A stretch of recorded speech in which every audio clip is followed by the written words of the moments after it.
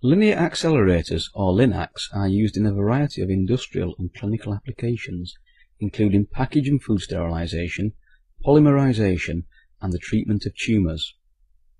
While the name LINAC is generally applied to the whole apparatus, it correctly refers only to that portion which accelerates electrons.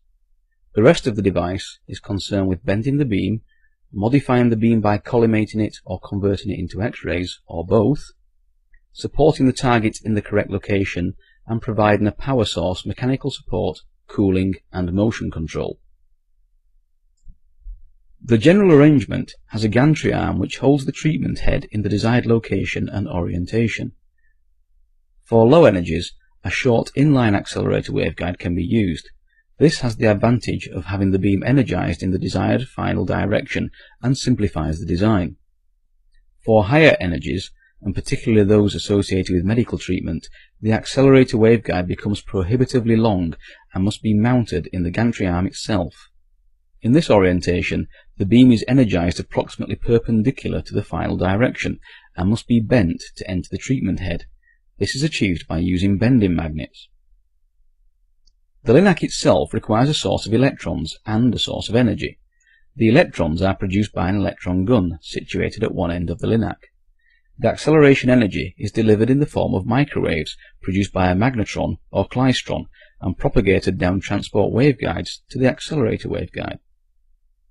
In order for this system to work, the entire LINAC must be evacuated by a vacuum system.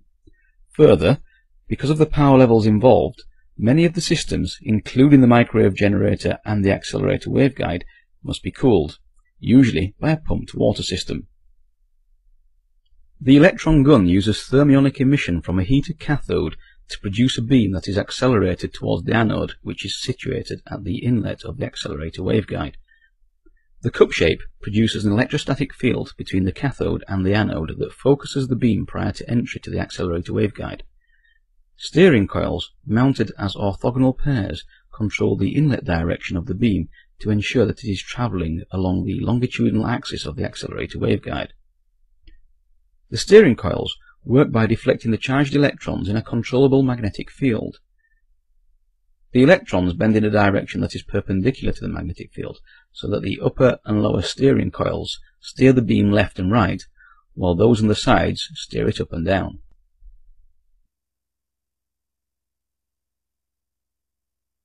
Once inside the accelerator waveguide, the electromagnetic field of the microwaves filling the tuned cavities transfers energy to the electrons, accelerating them. It also has a tendency to concentrate the electrons into groups that pass through the accelerator as a bunch. To understand this, consider the forces on an electron in an electric field that varies sinusoidally with position. Electrons are repelled by negative electric fields and are attracted by positive ones. The electrons situated in the negative portion of the field will be accelerated to the right, with those in the most negative region being accelerated the most. The electrons in the positive region will feel a force to the left, which will decelerate them. The net effect is to produce a bunch ahead of the negative crest.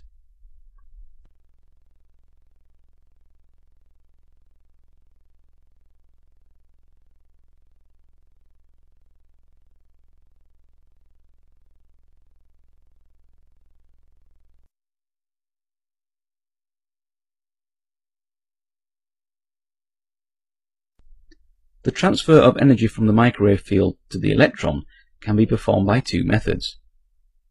The first method is to use a travelling wave, where the electric field traverses down the accelerator waveguide and the electrons ride the wave in a similar fashion to a surfer maintaining forward momentum from an ocean wave. The speed of the wave in the waveguide is determined by the cavity geometry and the size of the holes separating the cavities. The first few cavities are smaller and have larger holes, and it is in these sections that the beam is bunched and accelerated to relativistic velocities.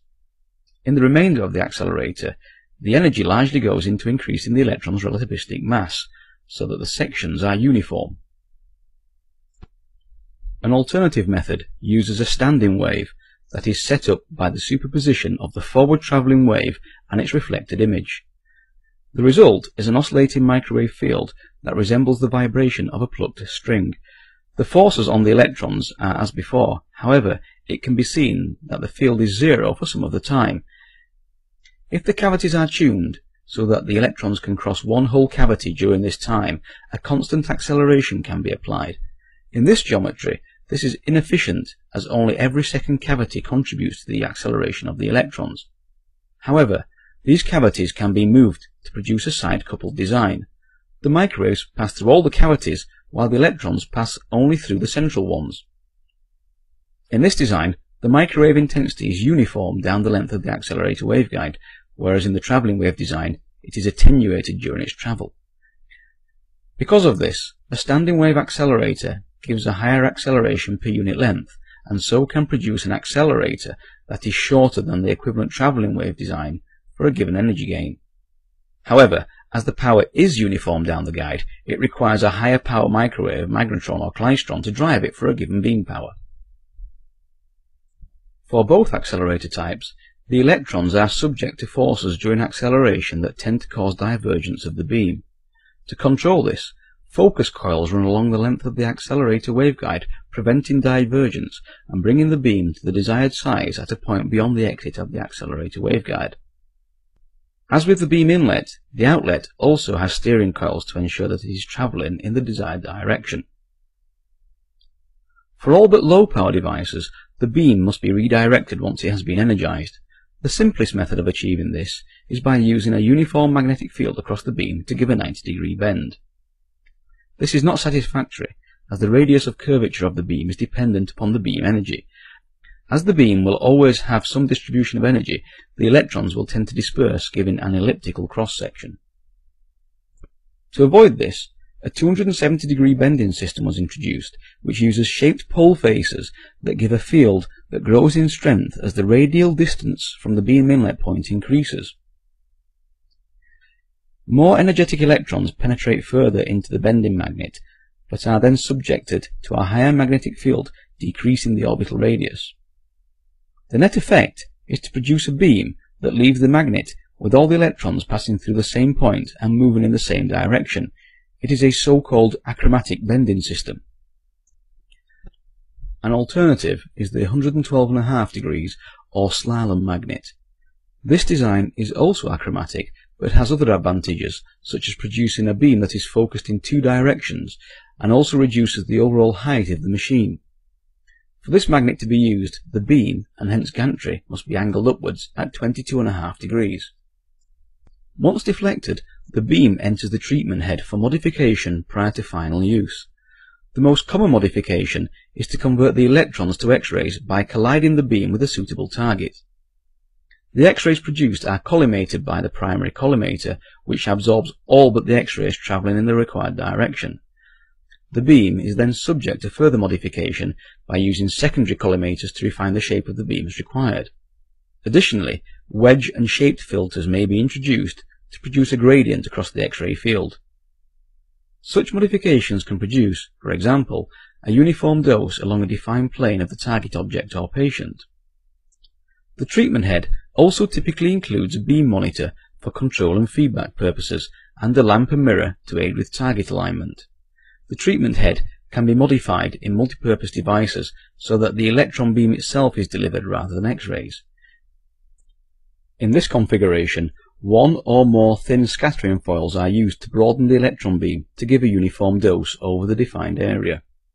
When the LINAC is used as an X-ray source for X-ray photons above about 10 MeV, the photons can be absorbed by the material in the treatment head, activating them and releasing neutrons or protons. This reaction has a threshold energy, so no activation is seen for X-rays below about 10 MeV. Any neutrons produced contribute to the dose delivered to the target or patient, while any protons produced are usually absorbed within the treatment head, leading to little or no extra radiation hazard. The activated materials in the treatment head can deliver a dose to staff dismantling the head for setup and maintenance. The activated products are usually short-lived so any radiation hazard during dismantling can be reduced by waiting for several hours after the last irradiation has finished. Because of the short half-life, it is unlikely that a significant buildup of activated material will occur. When the LINAC is used as an electron source, similar reactions can occur whereby an electron is absorbed and a neutron is released. the reaction probability for this is much lower than that for X-rays.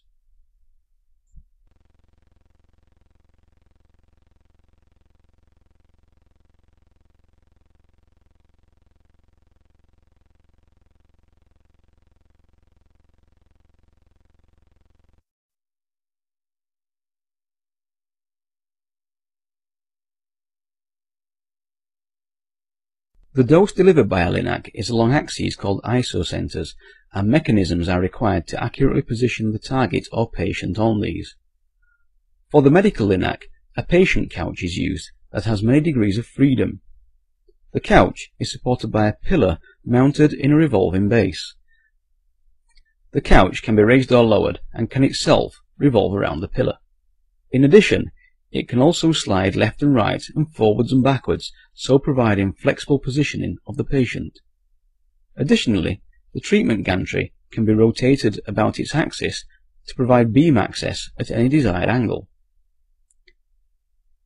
Where the couch blocks the beam, removable sections are used which support the patient with a mesh rather than a solid surface. The LINAC is usually situated within a specially designed room so that staff and public doses from its operation are minimized. The room will have a thick primary concrete shield to absorb direct beam radiation and thinner secondary concrete shielded walls to absorb scattered radiation. In addition, the access to the room will typically be through a maze geometry so that the doorway does not have to act as a full secondary shield.